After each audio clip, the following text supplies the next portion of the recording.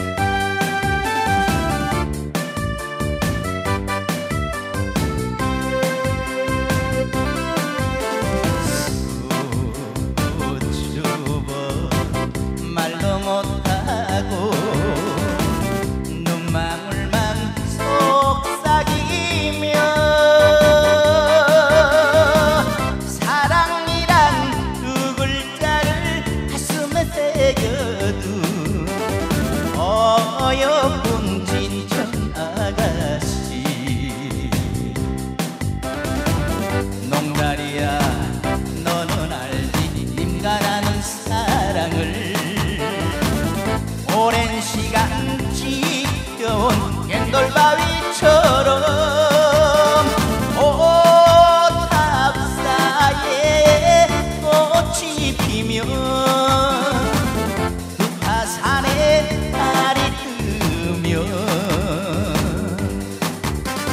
아, 아, 아, 우리 님도 오시겠